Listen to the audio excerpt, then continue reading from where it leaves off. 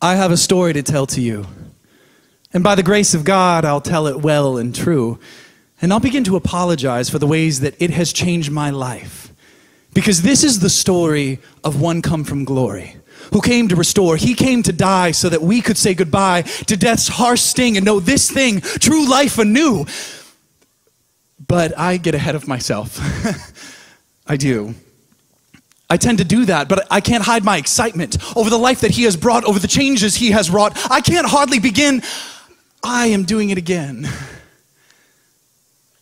Let me start from the start. Back to the part before we're a part of it all. Now, I cannot set the scene quite right because no eye has seen this sight, nor could we comprehend a nothing without end. Because nothing buzzed and nothing was, and all because the only thing that was was God. And then it, or at least the little bit of it that we can get, began. It began with a breath. A string of words from his mouth, thunderous, powerful words. Let there be light!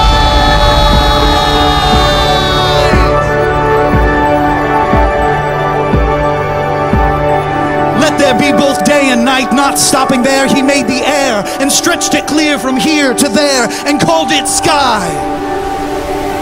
He said, Let there be both earth and seas and grass and trees. Let all this be, he did decree.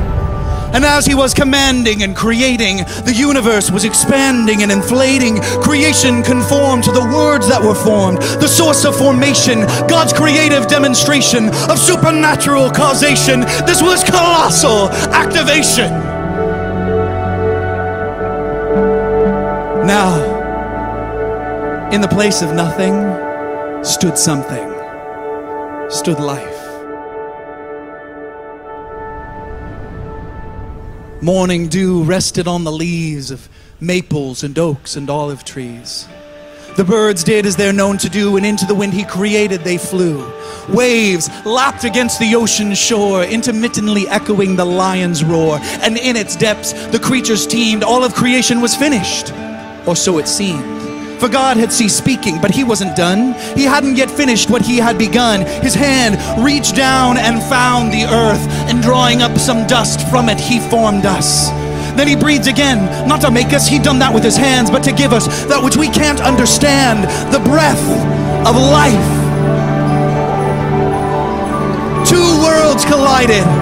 The terrestrial and the celestial coincided. A powerful formation, an intimate creation, a loving affirmation of us, his most precious creation. But then came the temptation. The temptation to be something likened to He who created us. And while that's wholly ridiculous, we took the bait of the apple we ate and decided our fate then and there. For in this act we rebelled and in that moment exhaled that breath of life He gave. We tossed that gift away and lived to rue the day that we decided to die. And we've been gasping for breath and fighting back death ever since we called down the curse.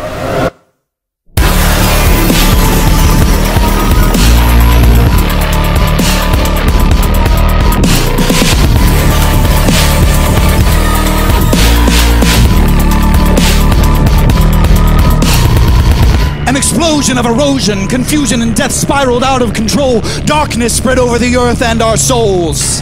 All of creation had been given to us, so the curse that had come fell not only upon us. It wrecked the trees, it fouled the breeze, it soiled the seas, it poisoned the animals, broke it up, burned it all. All of it bore the fall. All of it, all of it felt the free fall of it.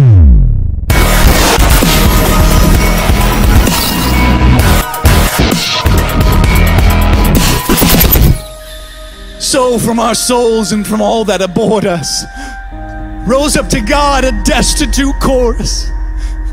Please save us. And He heard us, and He sent us His Son, the one in whom are all things, through whom come all things, by whom would all things be delivered, would cease to wither and slither toward death Heaven and earth coincided, and in him collided, fully God and fully man, the only one in whom God's plan could rest.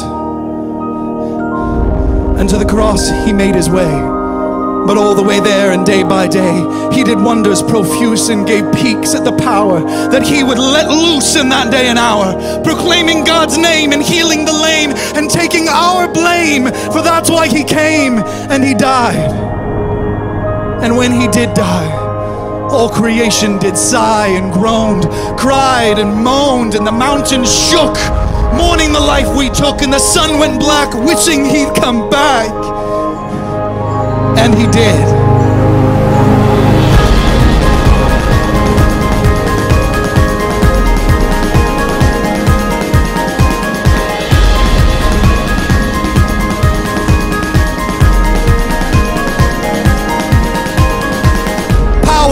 Wonder tore death asunder and gave hope for those under the curse. The war was over before it begun. The risen Jesus had already won. He went on the attack and broke death's back and bought us back from the grave.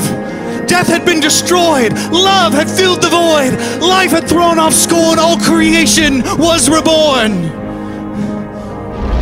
Brothers and sisters, I wouldn't want you to miss this. The very essence, the point, the drift of my gist is the power that raised Jesus from the grave. It's the power that's in those who trust that He saves. It's like TNT, His Spirit in me, breaking down the division, a cataclysmic collision, and I am new.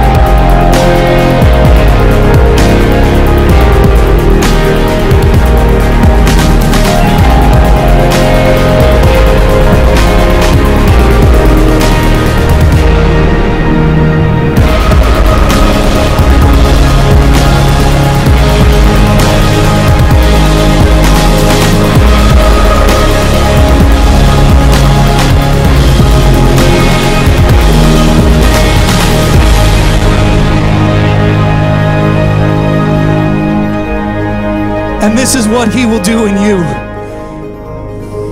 It may sound improbable, impossible, even laughable, but he will make it true.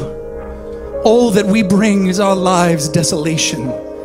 And he takes us and he makes us a brand new creation.